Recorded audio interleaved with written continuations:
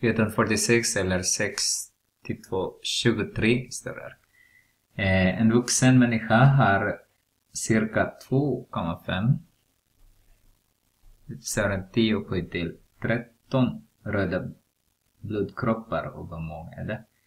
Och kärran. Varje blodkropp är cirka 7 multiplicerat med 10 upphöjt till negativ 3 millimeter lång. Antalet blodkropparna kunde läggas i rad. Hur lång skulle raden bli i kilometer? Oj. Så har vi 2,5 multiplicerat med 10 upphöjt till 13 multiplicerar med.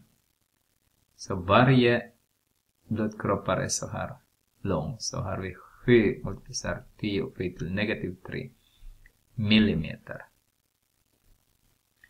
Så har vi 2,5 multiplicerat med 7. Så får vi 17,5. 5 multiplicerat med 10 upphöjt till 10. Och sen om vi millimeter är det. Och en millimeter om vi omvandlar den till, jag gör så här. En meter är 1000 millimeter. Så omvandlar jag redan den här till meter.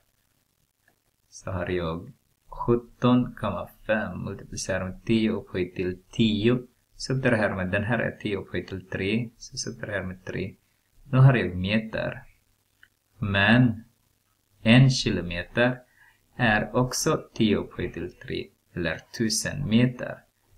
Så har jag 17,5 multiplicerar med 10 upphöjt till 7 är det här nu.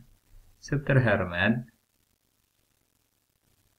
3 så har jag, nu har jag kilometer. Så har jag 17,5 multiplicerar med 10 upphöjt till 4. Så jag multiplicerar med 10 000. Så har jag 175 000. 1000 kilometer. Här är det kilometer.